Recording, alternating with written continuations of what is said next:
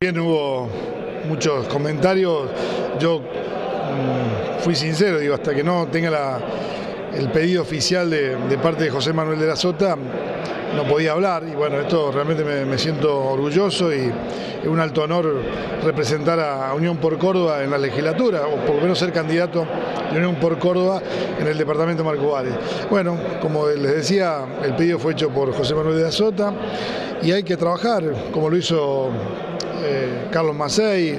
como lo está haciendo Daniel Pacerini, así que es muy alta la responsabilidad de, trabajar por el departamento, pero bueno, aceptamos el desafío y, así lo vamos a asumir. Bueno, lo que tiene bueno, lo positivo de todo esto, creo yo que, y que me parece que lo que han valorado también tus pares intendentes, es que nadie te va a poder contar este, cuáles son las peripecias de un intendente eh, para, conseguir las obras y demás. Creo que e, es una carga a favor esa, ¿no? Es decir, alguien que sabe, no te pueden venir a decir este, de qué están hablando los intendentes cuando reniegan para conseguir algo porque vos lo estás padeciendo por ahí, ¿no? Sin duda, bueno, primero el agradecimiento a cada uno de los intendentes, amigos, compañeros,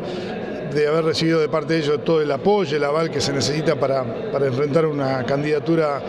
de legislador. Y bueno, como decías vos, eh, sabemos los intendentes lo que es caminar mm, Córdoba, golpear puertas y,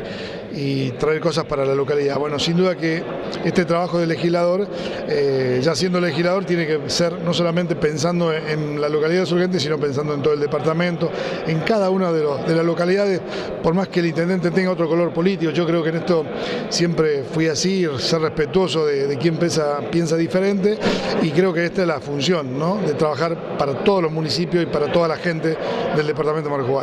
Bueno, y también eh, el trabajo ahora es, volviendo a los urgentes, bueno, buscar la transición eh, para ver quién, quién puede continuar con, la gestión que, ustedes empezaron, ¿no? Más allá de que tu mandato culmina el 10 de diciembre y vos vas a ser intendente hasta el 10 de diciembre, a partir de ahí la idea es que el mismo color político siga gobernando, ¿no? Bueno, nosotros le, tenemos que decir a los, a los vecinos urgentes que este trabajo que iniciamos en el 2003